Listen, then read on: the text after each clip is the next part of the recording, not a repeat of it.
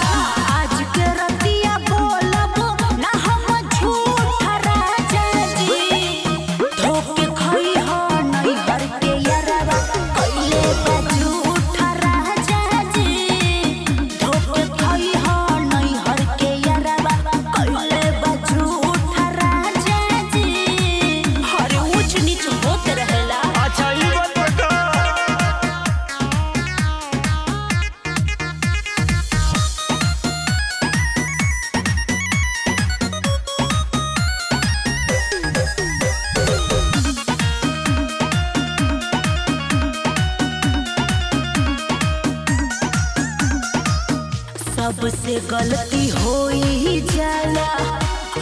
कसर तू हूँ दूध के धोवल नहीं खा जाना तनी बार